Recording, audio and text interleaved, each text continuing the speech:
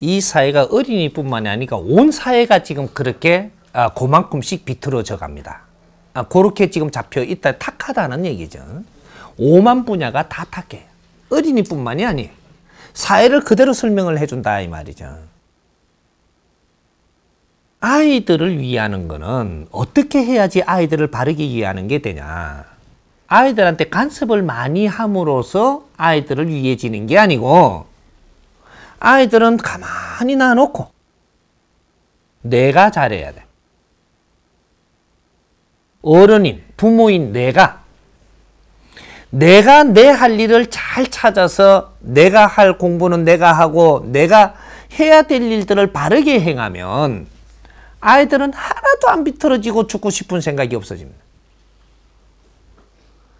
근데 우리가 지금 어떻게 지금 아이들을 대하고 있느냐? 아이들한테 너무 간섭을 하는 거예요. 간섭을 너무 많이 한다 이 말이죠. 내가 이렇게 이야기하면 어떤 말을 할지 내가 압니다. 간섭을 안 하고는 안 되는데요. 어, 뭐 안 되냐? 이러면 가만 놔두면 나쁜 버릇이 자꾸 이렇게 만들어지는데 어떻게 간섭 안 합니까? 아, 요건 잘못 착각을 하는 거예요.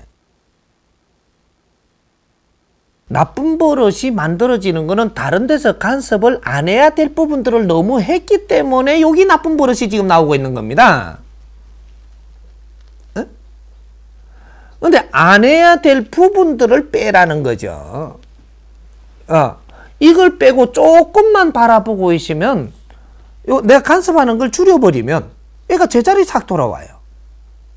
간섭하는 걸 조금만 줄여버리면 제자리로 사사사사 돌아온다는 얘기죠. 아이들은 티가 없기 때문에 바르게 지금 운용을 하면 지가 돌아옵니다. 근데 간섭해야 될 부분과 안 해야 될 부분에 분별을 못 하는데 아이들한테 믿고 의논할 거는 의논하고 어 그리고 아이들한테 지금 어떻게 해줘야 되느냐면 30%만 뒷바라지를 해주면서 지켜보는 겁니다. 뒷바라지를 하는데 30%만 뒷바라지하고 지켜봐 주는 거. 지켜봐 주는 거는 내 정성이에요. 어, 정성으로 지켜보고 있어야 된다는 거죠. 어, 간섭하는 게 아니고. 어, 그리고 30%는 뒷바라지를 해주고. 어, 요것이 지금 정확하게 우리가 아이들을 키우는 방법입니다. 과거에 우리 선배님들은 어떻게 했느냐 하면 선배님들은 희생을 하고 가는 분들이에요. 어, 디까지냐 여기서 농도가 이제 농도 자체가 선배님들 하니까 지금 우리 그 63살부터 여기서부터 12년 70내신가 되죠. 요까지 아, 요 분들은 바로 직계 우의 선배입니다. 아, 이, 이, 이 지금 이 나라의 선배라고 이야기를 하면 돼요. 아, 요 분들부터 해가지고 그 위에까지 조상들로 이, 이 올라가면 부모 조상으로 올라가면 농도가 더욱 진하게 정확하지만 70%를 자식을 위해서 살고 자기 인생을 30%로 사는 거예요. 어, 요 분들은 그래서 희생을 하면서 사는 분들이다. 이렇게 이야기하는 것이고, 어, 그래서 이분들은 희생을 하면서 우리를 키워왔고, 우리를 이해해왔고, 우리한테 혼신을 다했다. 이래서 이분들은 효도를 받아야 되는 분들이다 이 말입니다. 희생을 한 분들이니까.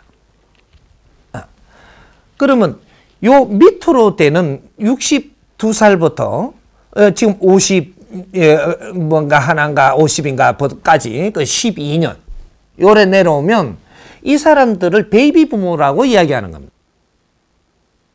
이 사람들부터 법이 바뀌는 겁니다. 선천과 후천이 바뀌는. 근데 이 사람들부터 이 사람들은 자식들한테 어떻게 해야 되느냐. 30%를 뒷받침해주고 70%는 너의 인생을 살아야 된다. 그렇게 되면 어떻게 되냐? 나의 인생을 바르게 살려고 노력을 하면서 사는 것을 자식들이 보면서 배움을 갖추어 나오는 것이 70%를 그렇게 해서 배움이 갖추어진다. 그러면 30%는 스스로 노력을 해서 가는 것이지만 스스로 학교에서도 선생들한테 배우고 모든 걸 배우는 것은 30%가 되고 부모님들과 우리 이제 위에서 살아나가는 걸 보면서 교육을 받는 게 70%예요. 근데 우리가 자식들 보는 앞에 어떻게 했느냐 하면 남편하고 싸웠어요. 그러면 자식들한테 싸우라고 지금 보여준 겁니다. 아, 이제부터 공부 나옵니다. 아, 잘 짚어보세요. 아, 우리 삼촌하고 다툼을 했다. 아, 그러면 자식 보는 앞에 다투었다. 자식은 저쪽에서 뭘 쓰고 있고 장난하고 있는 것 같아도 이래 보고 다 흡수해 버립니다. 이래가지고 그걸 배워버린 거예요. 속닥속닥 하면서 좀 조금 이렇게 그 좀 그 뭐 무언가 좀 끌쩍지근한 그런 뭐 역적 모의를 했다 둘이서 이걸 보고 듣는 것을 다 배워버린 겁니다. 자식들은 이렇게 큰 거예요. 네? 내가 전화 받는 소리를 들으시면 그걸 벌써 흡수해 버립니다. 알게 모르게 우리가 가정에서 있은 거, 사회에서 보여준 거, 이 어른들이 행동한 거 보여준 이런 것들이 아이들한테 전부 다 교육으로 돼버렸다 이 말이죠.